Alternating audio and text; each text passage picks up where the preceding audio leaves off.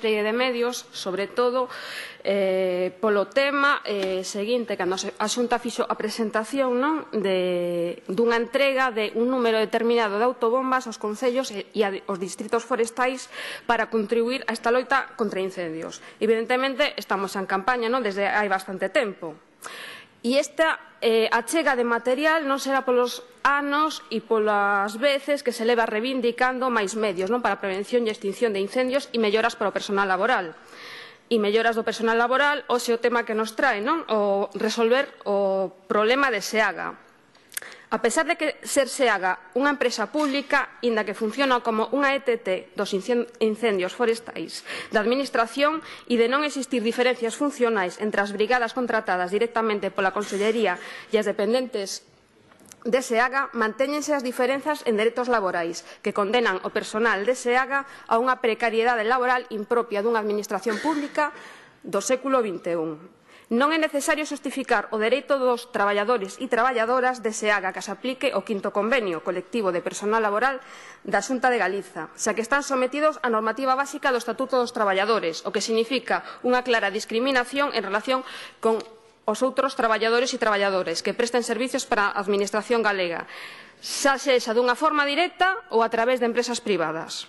Por este motivo, débese convocar con carácter de urxencia as organizacións sindicais presentes na Mesa Xeral de Empregados e Empregadas Públicos para a aplicación deste quinto convenio colectivo do personal laboral da Xunta de Galiza a esta empresa.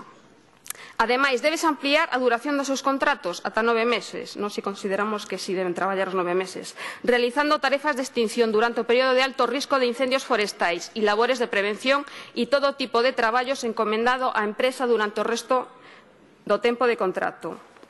E o de Seaga é escandaloso dentro do servizo que a día de hoxe segue sen contar con, dispositivos totalmente fragmentados e cada vez máis privatizados e menos profesionalizados, cunha ausencia dun mando único e sin tamén e cunha ausencia que falta coordinación, que vai en detrimento da eficacia. O recoñecemento do, traballo, do tempo traballado en SEAGA no acceso ás listas de contratación da Xunta de Galiza. A experiencia neste traballo consideramos que é fundamental, sobre todo polo risco e os coñecementos determinados que conleva.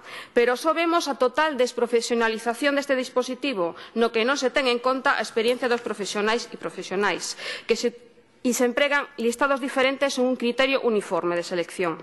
Non se mantén un personal estable que garanta a profesionalización destes equipos.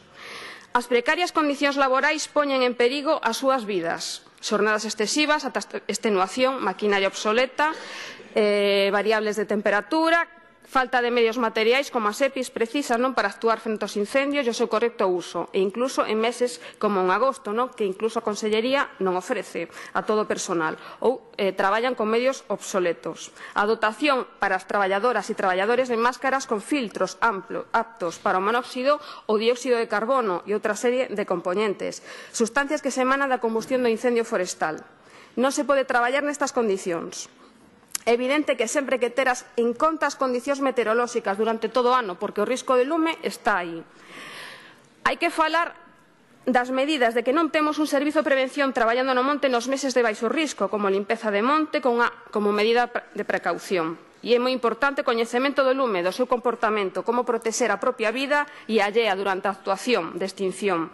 Non se pode poñer en valor o patrimonio forestal, a biodiversidade. Habería moitos menos incendiarios o montes fora un valor para a Xunta se tivéramos un goberno que velara polo cuidado e a explotación racional do monte e como consecuencia tamén destas políticas se pon en perigo a vida da veciñanza próximo ao incendio, a vida de numerosos animais e de plantas e tamén aumenta a superficie afectada polo incendio.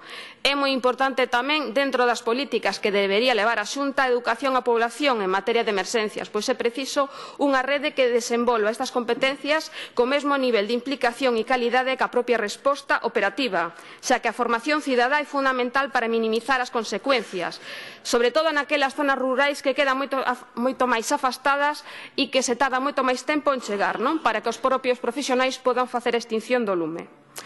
Imos a apoiar a, a proposición non de lei de AGE porque entendemos que eh, todos os profesionais deben ter unhas condicións mínimas para o traballo, para o desenvolvemento do seu traballo e para a súa vida. E tamén entendemos que é importantísimo dentro da política de mm, fixar a población esta medida. Moitas grazas. Gracias, señora Fernández. Eh, polo Grupo Parlamentario do Bloque Nacionalista